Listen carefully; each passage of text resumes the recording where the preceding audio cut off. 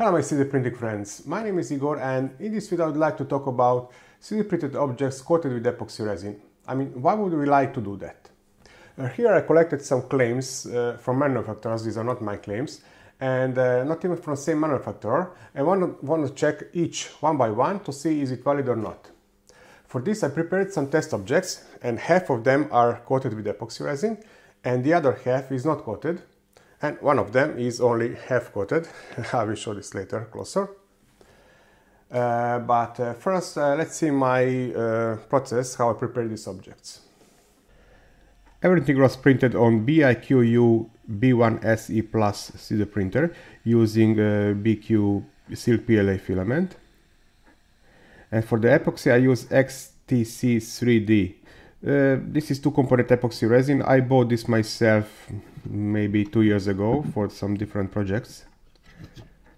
And very important is to analyze the instructions.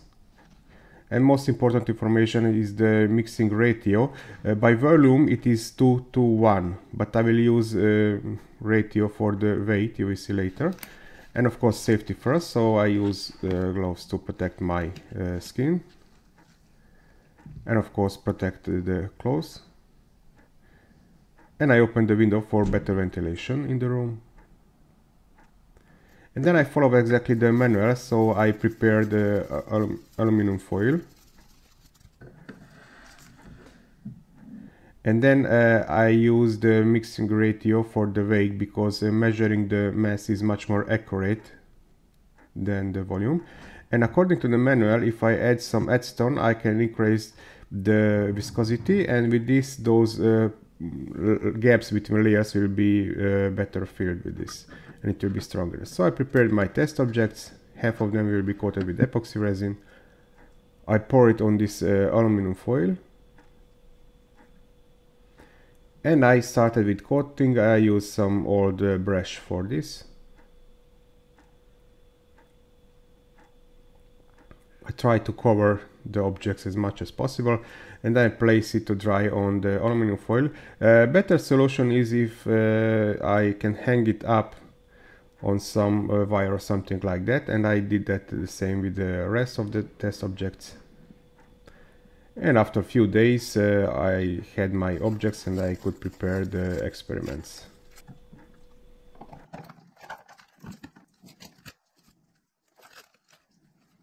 The first point, food safe. Now this is the only point which I will not test in this video because I already did that in an earlier video. You can find the link in the description.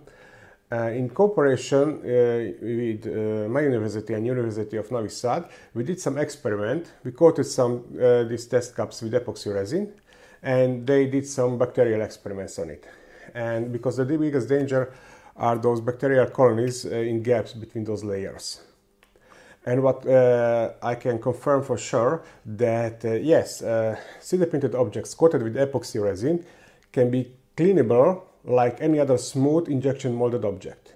But that's not far enough, okay? So uh, you must use food safe epoxy, food safe filament, you cannot use uh, brass nozzles, printer must be clean, uh, mixing of the epoxy must be proper, also the curing, and you cannot have cracks or, or holes uh, when you coat with epoxy resin. Okay, so uh, yes, uh, this claim uh, is confirmed, so it's okay, but with a lot of other conditions. Okay, next one, uh, stronger. This is my favorite point. For this I have several test subjects and uh, this cap is coated with epoxy resin. This test specimen is for ISO impact test these two are printed in horizontal position for tensile strength and these two are printed in vertical position to check the layer adhesion. I'm starting with tensile test. Smaller cross-section area is 4x4 mm and this is PLA without epoxy.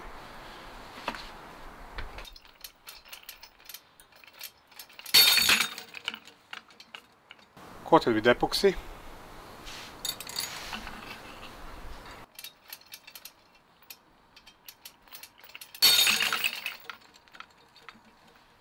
adhesion test PLA.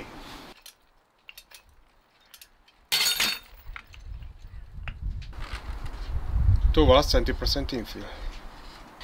PLA plus epoxy.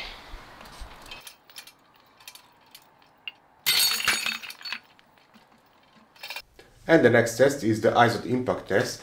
And usually PLA is very brittle material and I want to see if coating with epoxy resin will help to improve this uh, specification. I have here half kilogram hammer and it will swing to the other side and uh, after breaking the test specimen it will swing to a little bit lower position than the starting one and uh, with difference in potential energy I can calculate how much energy is used for breaking these test specimens. I'm starting with PLA.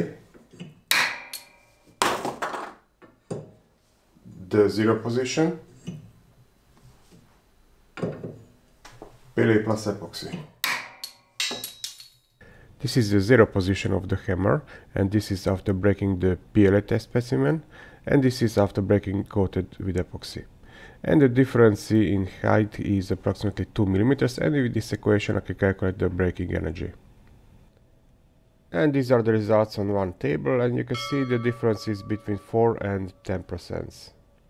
The next claim, shiny. Well, I think it's quite obvious. Uh, so here I use the PolyTerra matte uh, PLA filament and I uh, coated only one half with epoxy resin and uh, I hope it's visible on camera too which side is shiny. Now uh, with this uh, it's a little bit hard. I try to uh, coat only one half of the benchy, but it is very hard to uh, do it in some holes or, or where you have some uh, small gaps or similar. Uh, so yes, definitely it is possible, it will be shiny, but it is very hard to access to all points if you have a very complex object.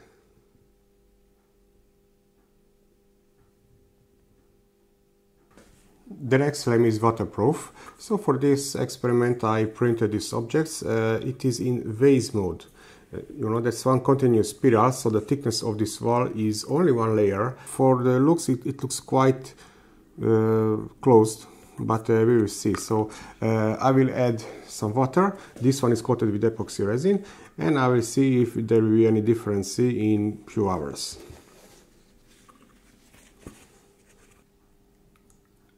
Usually the critical point in this case is before the printer starts with the spiral path printing.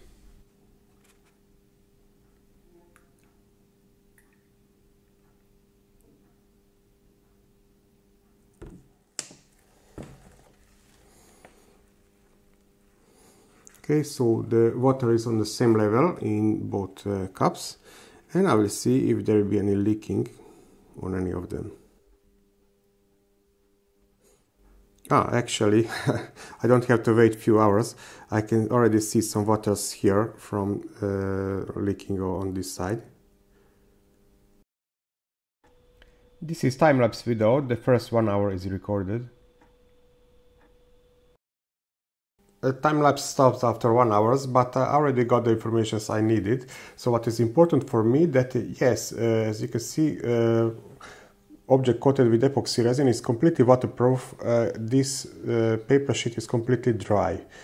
Here uh, I see a lot of water here. Of course, uh, visually uh, it didn't lose too much water here, but uh, what I needed here is this, that this has to be completely dry. And don't forget, so I use here the epoxy resin only outside because imagine some complex vase, definitely you cannot access inside.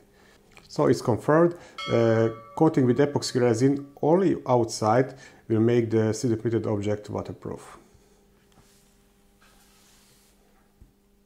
And the last point in this video is checking is it more thermal resistant if we coat the printed object with epoxy resin. So this one is uh, coated and this one is not and uh, I will do that standard test I usually do on, on this uh, channel. I will place a small load which is M10 nut here and I will place it in my oven and uh, follow the temperatures and uh, I will check when we start with deformation. Uh, this is PLA so usually it should start with deformation approximately at 55 degrees Celsius uh, but we will see what will be the case with this one here.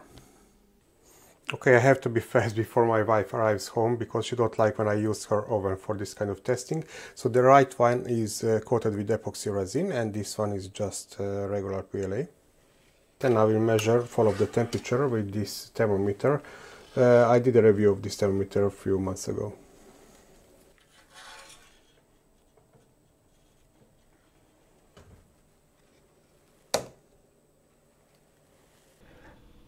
Unfortunately here I have some problems with the focusing, uh, so I apologize for this.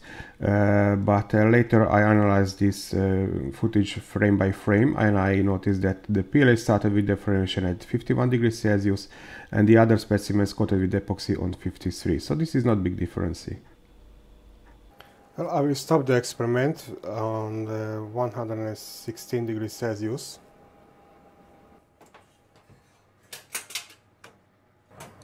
Uh, both feels like a rubber at this moment. Ah, it's a little bit sticky, the epoxy resin. So this is the PLA without epoxy, and it's it's like a rubber, and it's acted like a, like other uh, PLA materials.